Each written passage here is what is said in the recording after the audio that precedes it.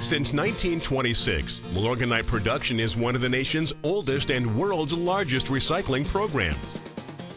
We're not recycling bottles, cans, or paper, but nutrients from organic matter, reclaimed from wastewater, using large scale, natural processes, which remain as cutting edge today as they were in the early 1900s. Rather than disposing of the resulting nutrient rich material into landfills, Milwaukee's answer was and is to produce Milorganite, the organic nitrogen fertilizer. Environmental stewardship is central to Milorganite and has been for 90 years. Headquartered in Milwaukee, Wisconsin, Milorganite is produced by its parent organization, the Milwaukee Metropolitan Sewerage District, MMSD, a regional government agency focused on providing water reclamation and flood management. Serving more than 1.1 million customers, MMSD continues to be a national leader in green solutions, including the manufacture of Milorganite. Milwaukee. Organic. Nitrogen. Milorganite. The name resulted from a 1925 contest published in National Fertilizer magazine.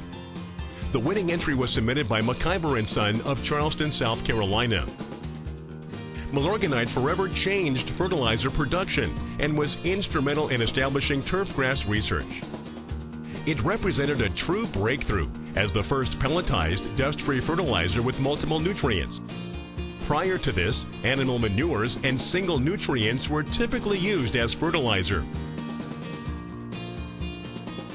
In the early 1900s, research began to investigate the properties of this revolutionary organic nitrogen fertilizer.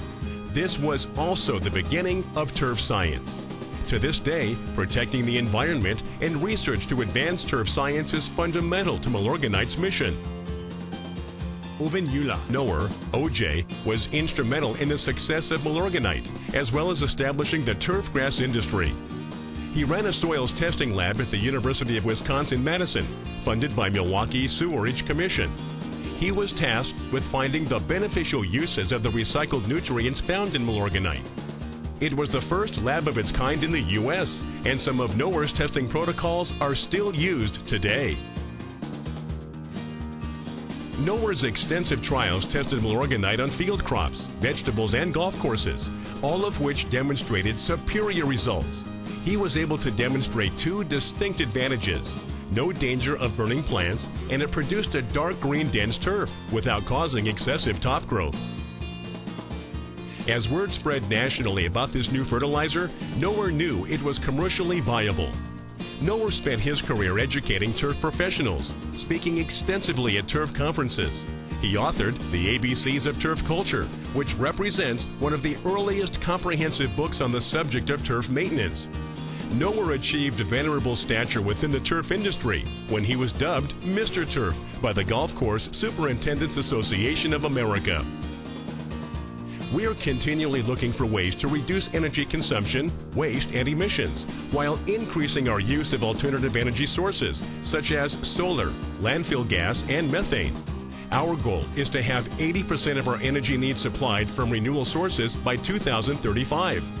Since 2014, our landfill gas initiative has reduced our dependence on both natural gas and electricity and will generate the majority of our energy for the next 20 years.